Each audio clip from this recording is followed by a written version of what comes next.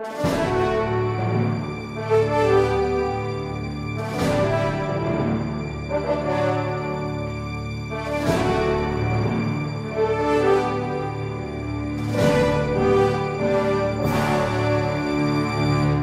Resposta Católica de hoje, gostaríamos de responder a Viviane. Ela quer saber se um católico pode celebrar o casamento religioso sem que ele seja obrigado a celebrar o casamento civil.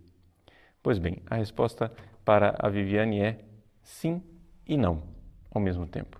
É uma resposta complexa porque nós precisamos aqui ler o cânon 1071. O cânon 1071 diz o seguinte, parágrafo 1 exceto em caso de necessidade, sem a licença do ordinário local, ninguém assista. Número 2. O matrimônio que não possa ser reconhecido e celebrado civilmente. O que, é que isso quer dizer? Isso quer dizer que, de uma forma geral, o matrimônio que nós celebramos dentro da igreja deveria ser reconhecido civilmente, deveria ter os seus efeitos civis reconhecidos. E a igreja, ela insiste nessa realidade porque, porque é claro, a sociedade civil, ela também reconhece a instituição do matrimônio, embora infelizmente as nossas legislações estão cada vez mais débeis com relação à sacralidade, estabilidade e aquilo que é a inviolabilidade dessa instituição. Mas, seja como for, a igreja ainda tem em grande apreço esta realidade de se reconhecer que há vínculos, existem direitos e deveres para com as pessoas que contraíram matrimônio. Então, é necessário que nós tenhamos também o reconhecimento civil, para que depois, no caso de injustiças, uma das partes possa acionar a outra também civilmente para receber os seus direitos. A igreja reconhece que é claro, infelizmente, existem problemas entre os casais. Então, aqui não somente os problemas de desavenças entre os casais, mas até mesmo a questão patrimonial, a herança para os filhos, pensões em caso de uma das partes falecer e assim por diante. A igreja tem em grande apreço o direito civil nesse ponto. No entanto, apesar disso, a igreja reconhece que não é necessário o matrimônio civil em si mesmo. Por quê? Porque o matrimônio civil, para nós, é matrimônio nenhum. Ou seja, o matrimônio civil entre dois católicos, enquanto celebração de matrimônio, é absolutamente nulo. Ali não acontece matrimônio algum. As duas pessoas são solteiras, totalmente solteiras enquanto matrimônio.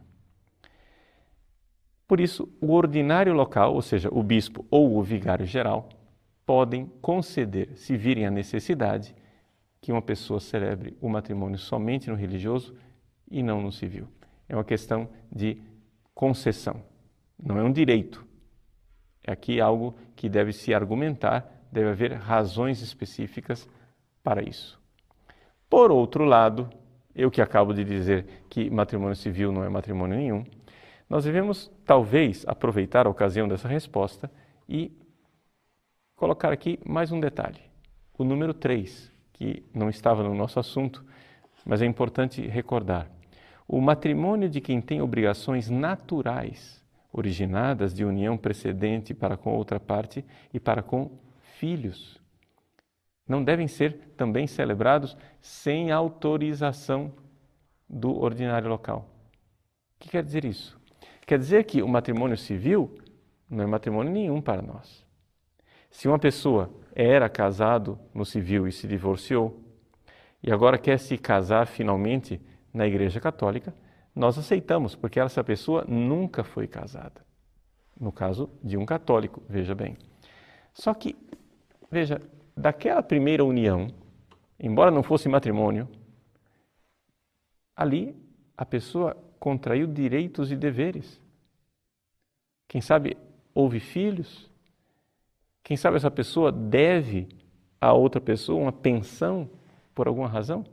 Então, também aqui, se houve concubinato, se houve união com obrigações naturais, a igreja também exige que se peça licença do ordinário para garantir os direitos da outra parte ou dos filhos.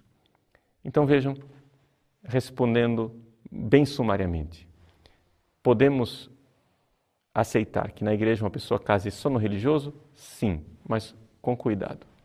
Existe uma cautela da igreja para que sejam reconhecidos os direitos e os deveres para com obrigações naturais e que esta realidade civil e natural seja respeitada.